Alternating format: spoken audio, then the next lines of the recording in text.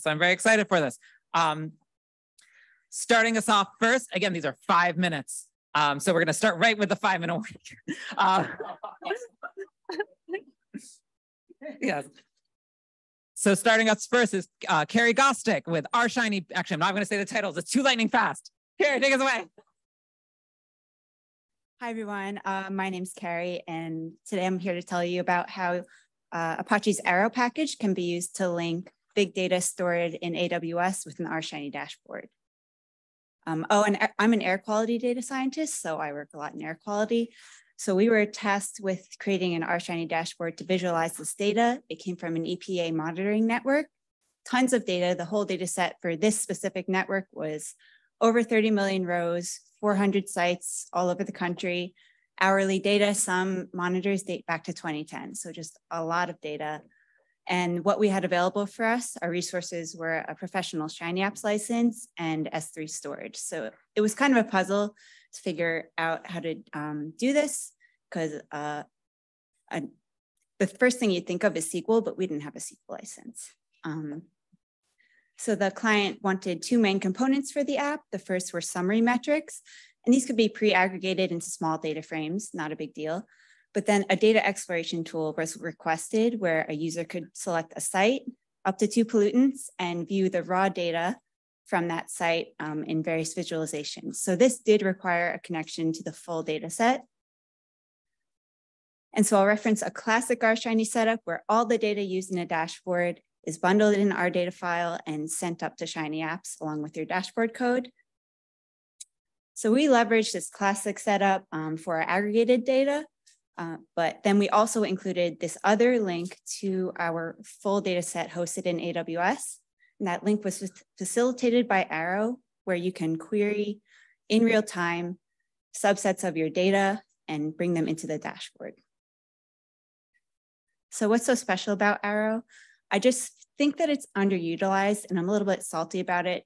Maybe it's only because I didn't know about it. I feel like everyone should know about it. It's really fast. You can perform aggregations, joins, filters all before bringing your data into working memory, which is really cool.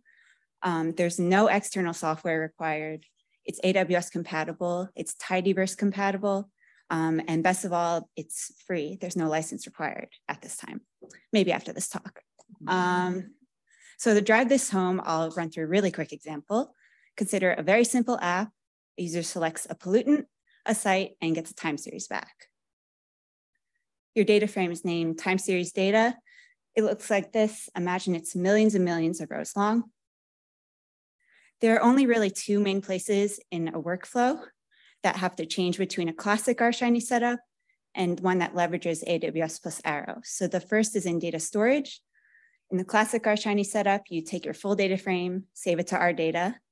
On the, on the right, the AWS plus Arrow uh, setup here, you just leverage one function from Arrow, write data set, and save your time series data frame function directly to AWS just by passing the URI to your bucket. So that's very simple and easy to implement. The second is within your app code when you reference the data. Um, this is just a snippet of code from a server function for that very simple app. You take your full data set, you filter it into in a reactive called plot data here, and then you plot it.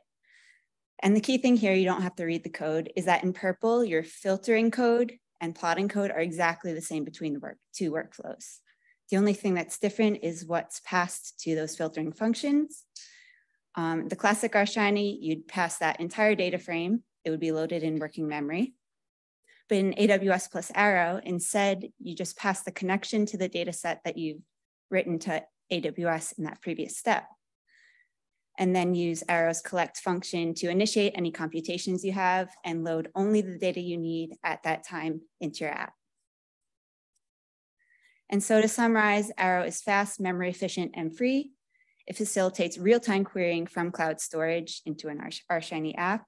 And um, it's very useful in a situation where you have a very big data set, but you only need a subset at any given time, which is what we have here.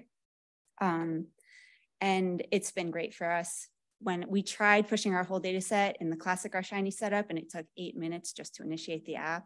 And with this, it initiates instantaneously, and each query takes one to two seconds. It's a great user experience.